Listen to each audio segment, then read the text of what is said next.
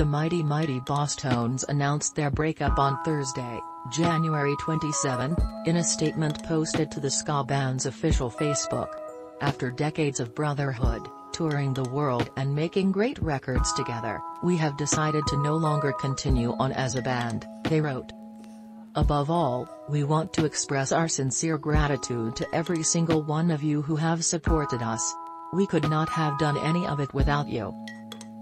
Love Always, the Mighty Mighty Bosstones. Formed in 1983 in Boston, the Ska Innovators released a total of 11 studio albums over the course of their career, from their 1989 debut Devil's Night Out to 2021's When God Was Great. In 2003, the group went on hiatus after more than a decade of non-stop touring.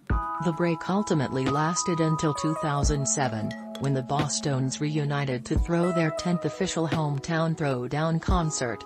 Over the years, they weathered many a lineup change due to touring commitments and other responsibilities, ultimately ending their nearly 40-year run as a nine-piece that included frontman Dicky Barrett, tenor saxophonist Tim Johnny Vegas Burton, bassist Joe Gittleman, drummer Joe Sirois, guitarist.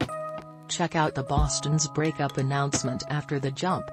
Earlier this month, Barrett exited his longtime gig as the announcer on Jimmy Kimmel Live, and was replaced by rising comedian Lou Taylor. It's unclear whether the change was related to the disbanding.